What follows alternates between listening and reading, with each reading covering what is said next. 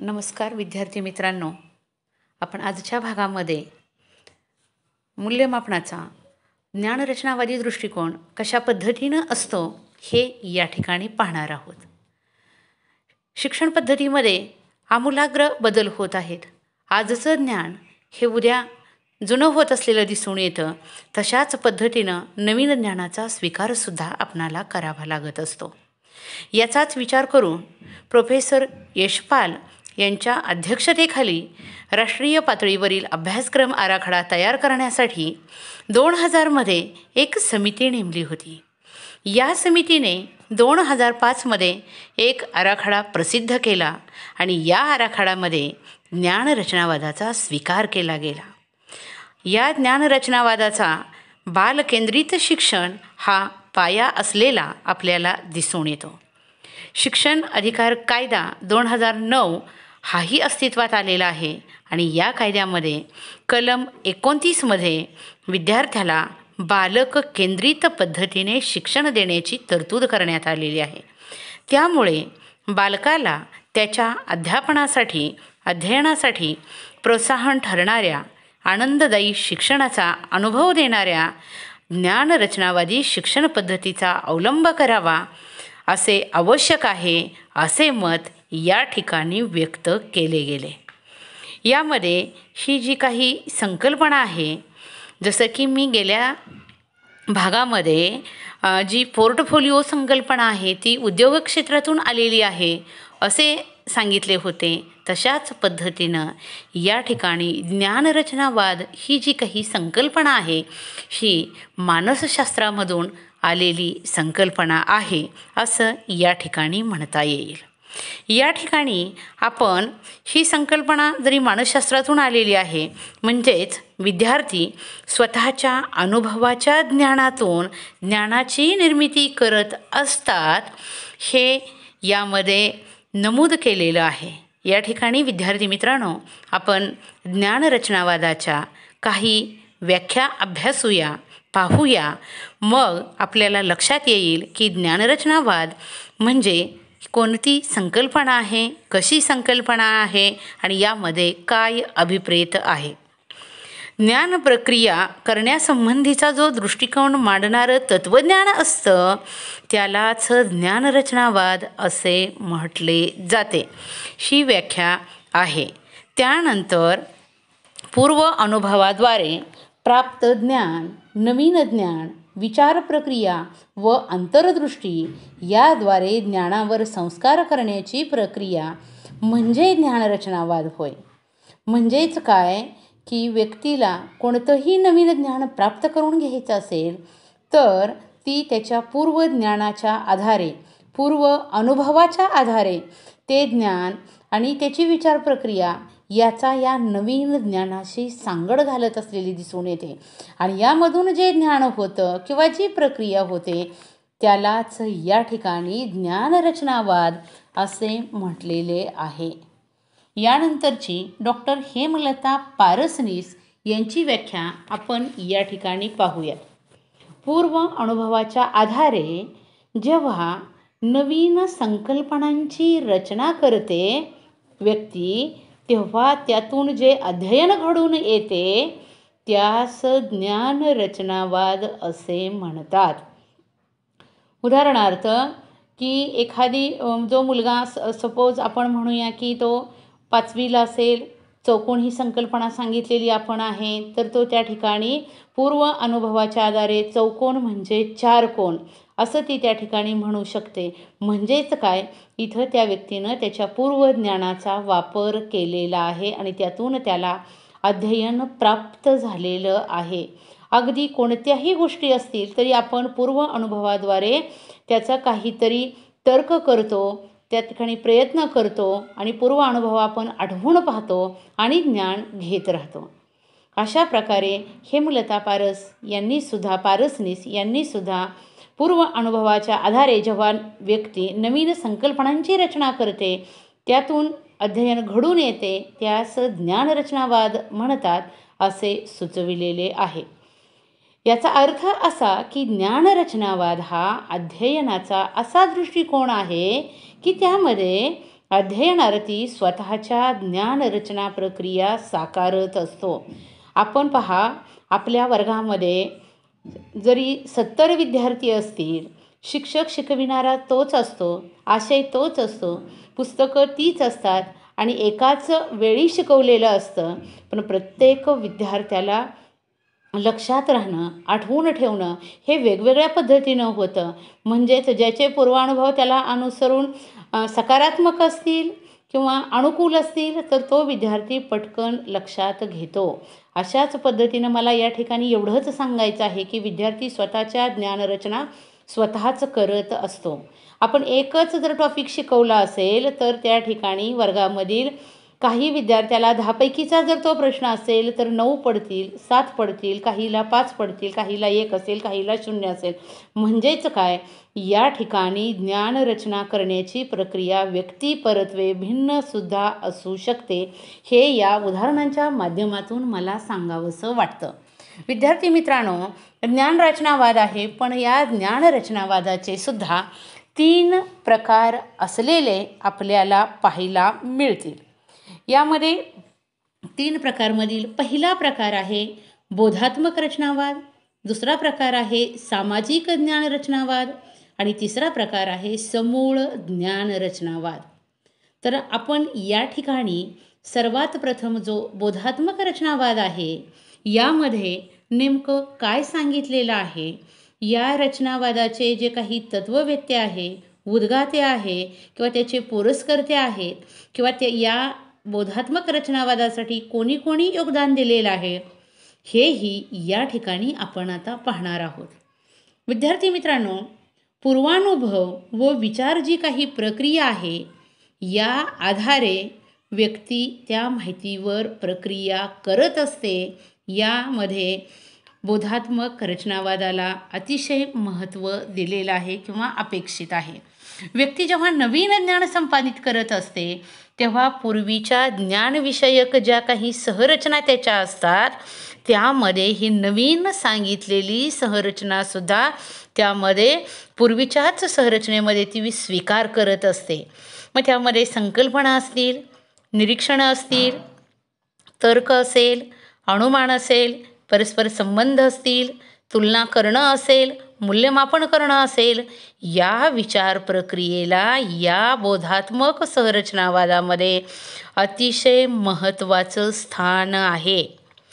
या रचनावादामध्ये Jean पियाजे Jerome Bruner David Ausubel Atkinson व शिफरिन यांचं जे काही योगदान आहे ते अतिशय महत्त्वपूर्ण योगदान आहे असं या ठिकाणी आपल्याला सांगता येईल. या ठिकाणी विद्यार्थी मित्रांनो तुम्हाला वस्तुनिष्ठसाठी प्रश्नही विचारला जाईल. बोधात्मक ज्ञानरचनावादाचे पुरस्कर्ते कोण आहेत? किंवा बोधात्मक संरचनावादाची संकल्पना कोणी मांडली आहे? तर यामध्ये सर्वप्रथम कोणी मांडली आहे म्हटलं तर जीन पियाजे. हे नाव तुम्ही लक्षात ठेवायचं आहे. आणि याचा पुर याचे पुरस्कर्ते कोण कोण आहेत असं विचारलं तर Jerome Bruner David Ausubel Atkinson व शिफ्रिन. अशी नावं या ठिकाणी आपण लक्षात ठेवणं आवश्यक आहे. बोधात्मकमध्ये आपण जसं की आपल्या बुद्धीचा वापर करतो मग निरीक्षण तर्क अनुमान परस्पर संबंध तुलना मूल्यमापन या ज्या विचार प्रक्रिया आहेत या बोधात्मक स रचनावादामध्ये अतिशय महत्त्वाच्या आहेत. हे या ठिकाणी आपण लक्षात ठेवायचं आहे. आता आपण विद्यार्थ्यांनो सामाजिक रचनावाद म्हणजे काय आहे? तो कशा पद्धतीनं असतो हे आपण या ठिकाणी आता पाहूया. व्यक्ती जी आहे ज्ञाननिर्मिती वेगवेगळ्या घटकांच्या मार्फत घेत असते. मग जसं की व्यक्तीचा जन्म समाजामध्ये होतो व्यक्ती समाजामध्ये वाढते आणि व्यक्तीचा अंतसुद्धा समाजामध्येच झालेला आपल्याला पाहायला मिळतो. म्हणजेच व्यक्तीच्या ज्ञाननिर्मितीवर सामाजिक सांस्कृतिक व भाषिक ज्या काही आंतरक्रिया आहे त्याचा परिणाम होतो.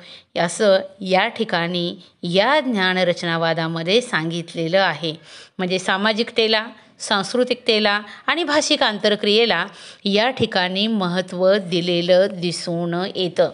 बऱ्याच वेळा पहा की आपण घरगुती कसंही वर्तन करतो पण समाजामध्ये गेल्यानंतर मात्र आपण समाजमान्य वर्तन करण्याचा प्रयत्न करतो. म्हणजे आपले आचार विचार असतील आपली मूल्य असतील आपली संस्कृती असेल किंवा समाजामध्ये विविध घटना घडत असतात त्याचे आपण निरीक्षण करून या घटनांना चांगलं म्हटलं जातं या घटनांना वाईट म्हटलं जातं यावरून आपण कोणती घटना स्वीकारायची आहे याचा विचार आपण करत असतो. उदाहरणार्थ बालक लहान असते साधारण पाच वर्षाच्या आतील असेल त्याला खूप भूक लागली असेल आणि एखाद्या हॉटेलच्या पुढून जात असेल तर ते आकाड तांडव करेल आणि त्याला त्याची जेवणाची जी गरज आहे ती पूर्ण करण्याचा प्रयत्न करेल. पण सपोज आपण बघू की वीस बावीस वर्ष वयाची व्यक्ती आहे त्याला खूप भूक लागलेली आहे पण ती व्यक्ती तसं वर्तन करणार नाही. म्हणजेच काय? आपण समाजमान्य वर्तन करण्याचा प्रयत्न या ठिकाणी करत असलेलं दिसून येतो. यामध्ये बालक जे आहे त्याच्या समवयस्क मित्रांकडून खेळामधून चर्चेमधून अनेक गोष्टी शिकते. आणि ही जी काही सामाजिक रचनावाद जो काही आहे तो लेव वायगोट्स्की या विचारवंतांनी मांडलेला आहे. याशिवाय जॉन डी यांनीसुद्धा अतिशय महत्त्वपूर्ण असं योगदान या ठिकाणी दिलेलं आहे. हेही आपणाला या ठिकाणी दिसून येईल. त्यानंतरचं विद्यार्थी मित्रांनो तिसरा प्रकार आहे समूळ ज्ञानरचनावाद मानवी मन जे आहे ते स्वतःच्या मानसिकतेच्या प्रक्रियेसंबंधी जाणू शकतं आणि विचार करू शकतं. मग यामध्ये असं सूचित केलेलं आहे की ज्ञानप्राप्तीची जी काही प्रक्रिया आहे ती निष्क्रिय प्रक्रिया नसून सहक्रिय अशी प्रक्रिया आहे. यामध्ये म्हणजेच व्यक्तीची जी काही मानसिक प्रक्रिया आहे त्यामध्ये सक्रियता असणं अतिशय महत्त्वाचं आहे. आणि ही सक्रियता असल्याशिवाय विद्यार्थी ज्ञान घेऊ शकत नाही.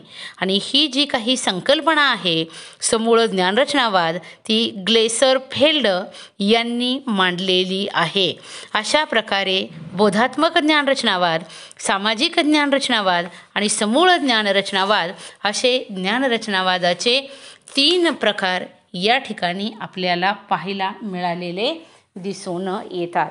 आता विद्यार्थी मित्रांनो आपण जीन पियाजे यांनी जी काही बोधात्मक विकास किंवा बोधात्मक ज्ञान रचनावाद जो आहे यामध्ये नेमकं काय सांगितलेलं आहे हेही आपण या ठिकाणी पाहूया. या ठिकाणी जीन पियाजे यांनी बोधात्मक विकासाची उपपत्ती चार अवस्थांमध्ये मांडलेली आहे. कोणत्याही बालकाच्या विकासाच्या अवस्था याप्रमाणे असतात असं त्यांनी म्हटलेलं आहे. पहिली अवस्था संवेदनकारक अवस्था दुसरी क्रियापूर्व अवस्था तिसरी मूर्त क्रियात्मक अवस्था आणि चौथी वस्तुनिष्ठ क्रियात्मक अवस्था. तर या पहिल्या अवस्थेमध्ये जे काही संवेदनकारक अवस्था म्हटलेलं आहे जन्मापासून वयाच्या दोन वर्षापर्यंत बालकाचा विकास कशा पद्धतीनं होतो आणि या अवस्थेला त्यांनी संवेदनकारक अवस्था म्हटलेलं आहे बालक आत्मकेंद्रित असतं. या काळामध्ये बालक वस्तू हाताळून बघते चोखून बघते आणि संविधानाच्या जाणीवेकडे लक्ष देऊ लागते. म्हणजेच या ठिकाणी ते बालक हळूहळू समायोजन साधण्याचा प्रयत्न करत असलेलं या ठिकाणी दिसून येते. मग जन्मापासून दोन वर्षापर्यंत जी अवस्था आहे त्या अवस्थेला संवेदनकारक अवस्था असं म्हटलेलं आहे. आणि चांगल्या संवेदना असतील तर बालक त्याच्याकडे जास्तीत जास्त लक्ष देऊ लागतं हे यामध्ये सांगितलेलं आहे. दुसरी जी अवस्था आहे क्रियापूर्व अवस्था.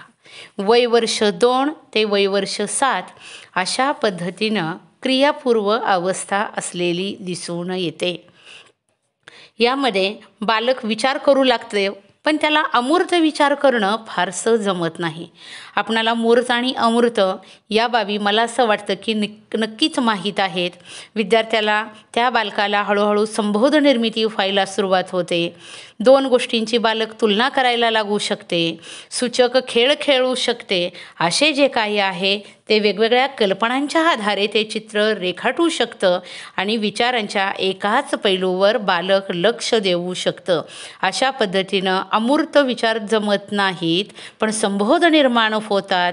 या अवस्थेला क्रियापूर्व अवस्था असं म्हटलं जातं. त्यानंतरचा हे मूर्त क्रियात्मक अवस्था. या अवस्था वय सात वर्ष ते बारा वर्ष. यामध्ये बालक मूर्त वस्तूंचाही विचार करू शकते आणि अमूर्त वस्तूंचा सुद्धा विचार या ठिकाणी करू शकते. हे महत्त्वपूर्ण आहे. तर ही अवस्था वय वर्ष सात ते बारा या अवस्थेला मूर्त क्रियात्मक अवस्था असं म्हटलं जातं. यामध्ये बालक वर्गीकरण करणे क्रम लावणे निष्कर्ष काढणे या गोष्टी या ठिकाणी किंवा कोणतीही घटना असेल त्या घटनेच्या बाजूने विचार करू शकतो घटनेच्या विरुद्ध बाजूने विचार करू शकतो. म्हणजेच अशी क्षमता त्या बालकामध्ये निर्माण झालेली दिसून येते. त्यानंतरच आपल्याला सांगता येईल चौथी अवस्था पियाजे यांनी मांडलेली वस्तुनिष्ठ क्रियात्मक अवस्था. यामध्ये अमूर्त गोष्टीचा बालक विचार करू शकते प्रतिकात्मक गोष्टीचा विचार करू शकते अनुमान लावू शकते सामान्यीकरण करू शकते निष्कर्ष प्रस्थापित करू शकते. अशा पद्धतीनं या सर्व गोष्टींचा विचार बालक करते आणि ही वस्तुनिष्ठ क्रियात्मक अवस्था जेव्हा बालकाला निर्माण होते तेव्हा खऱ्या अर्थाने बौद्धिक विकासाची सर्वोच्च अवस्था तिला प्राप्त झालेली आहे असं या ठिकाणी म्हटलं जातं. यानंतर विद्यार्थ्यांनो ही जी काही बोधात्मक विकासाची उपपत्ती किंवा बोधात्मक र ज्ञानरचनावाद आहे यामध्ये शैक्षणिक महत्त्व काय सांगता येईल? किंवा तुम्हाला असाही प्रश्न येऊ शकतो? जीन पियायचे यांनी सांगितलेल्या बोधात्मक विकास उपपत्तीचे शैक्षणिक महत्त्व सांगा. तर या ठिकाणी आपणाला शैक्षणिक महत्त्व असं सांगता येईल की शिक्षकांनी विद्यार्थ्याच्या विकासाच्या ज्या काही अवस्था आहेत त्याचा बौद्धिक विकास कसा होतो हे लक्षात घेऊन अध्यापन करावं. त्यानंतर बालकाची परिपक्वता कशी आहे त्याचा विचार करून त्याला विविध कौशल्य शिकवावीत. बालकाला विविध वस्तू हाताळण्याची संधी देऊन त्याला कृतीयुक्त अनुभव देण्याचा प्रयत्न करावा. यामध्ये उदाहरण आपणाला असं सांगता येईल की आपण बर्फ मऊ असतो असं म्हटलं किंवा वेल्वेटचं कापड अगदी मऊ असतं असं म्हटलं पण विद्यार्थ्याला प्रत्यक्षात वस्तू हाताळायला दिल्या तर त्याला तो अनुभव कृतिशीलरित्या मिळू शकतो. त्यानंतर जे काही बालकाचं ज्ञान वाढवण्यासाठी विविध उदाहरणं दिली पाहिजेत विविध संकल्पना त्याच्यापुढं निर ठेवल्या पाहिजेत आणि विविध अनुभव त्याच्याद्वारे त्याला मिळाले पाहिजेत. याचाही विचार या ठिकाणी शिक्षकांनी करावा. त्यानंतर विद्यार्थ्यांची विचार जी पातळी आहे ती निरीक्षणाच्या आधारे शिक्षकांनी जाणावी की या विद्यार्थ्याचा या पातळीपर्यंत विकास आहे तर नेमके कोणते अध्ययन अनुभव त्या विद्यार्थ्याला दिले गेले पाहिजेत. त्याबरोबर विद्यार्थी त्याच्या समवयस्क मित्रांमध्ये जास्तीत जास्त आंतरक्रिया करेल. म्हणजे ज्याप्रमाणे जसं की प्रकल्प पद्धती आहे गट चर्चा आहे अशा वेगवेगळ्या आंतरक्रिया विद्यार्थ्याला करण्यासाठी प्रोत्साहन दिलं पाहिजे. त्याचबरोबर शिक्षकांनी विद्यार्थ्यांच्या शंकेचं प्रश्नांचं निरसन करावं आणि सहशालेय विविध उपक्रमांचा समावेश करावा जेणेकरून बालकाच्या बौद्धिक विकासाला जास्तीत जास्त चालना मिळू शकेल. तर विद्यार्थी मित्रांनो आपण आजच्या सा तासाला ज्ञानरचनावादाची संकल्पना मानसशास्त्रातून कशा पद्धतीनं आलेली आहे? त्यानंतर हेमलता पारसनीस आणि इतर दोन व्यक्तींच्या ज्या काही व्याख्या होत्या त्याही या ठिकाणी अभ्यासलेल्या आहेत. ज्ञानरचनावादाचे प्रकार बोधात्मक ज्ञानरचनावाद सामाजिक ज्ञानरचनावाद आणि समूळ ज्ञानरचनावाद कशा पद्धतीनं असतो हेही आपण पाहिलेलं आहे. त्यानंतर आपण जीन पियाजे यांनी बोधात्मक विकासाची उपपत्ती कशा पद्धतीनं मांडली त्यामध्ये चार बाबींचा विचार होता. संवेदनकारक अवस्था जन्म ते दोन वर्ष असते क्रियापूर्व अवस्था दोन ते सात वर्ष असते मूर्त क्रियात्मक अवस्था सात ते बारा वर्ष असते आणि वस्तुनिष्ठ क्रियात्मक अवस्था बारा ते पंधरा वर्ष कशा पद्धतीनं होतं हेही पाहिलेलं आहे. याशिवाय पी आय जे यांनी जी काही उपपत्ती मांडली त्या उपपत्तीचं शैक्षणिक महत्त्व काय असतं? तर ते महत्त्व आपण विद्यार्थ्यांचा बौद्धिक विकास लक्षात घ्यावा परिपक्वता लक्षात घ्यावी वस्तू हाताळण्याची आणि कृतिशील अनुभव देण्याची संधी द्यावी त्यानंतर विद्यार्थ्याला विविध संकल्पना उदाहरणे आणि अनुभव द्यावेत विचार पातळी निरीक्षणाच्या आधारे जाणावी समयकस्क मित्राशी आंतरक्रिया साधावी आणि शंकांचे निरसन करावे सहशालेय उपक्रम ठेवावेत या बाबी हे शैक्षणिक महत्त्व या ठिकाणी अभ्यासलेलं आहे. आपण पुढील भागांमध्ये लेव्ह वायगोट्स्की यांनी ज्ञानरचना बा वादाबाबत त्यांचे नेमके विचार काय आहेत हेही आपण पुढील भागामध्ये पाहणार आहोत. तर या ठिकाणी आपण ज्ञानरचनावादामधील जो काही संकल्पना असेल प्रकार असतील आणि बोधात्मक विकासाची उपपत्ती आणि शैक्षणिक महत्त्व हे या ठिकाणी लक्षात ठेवणं आवश्यक आहे.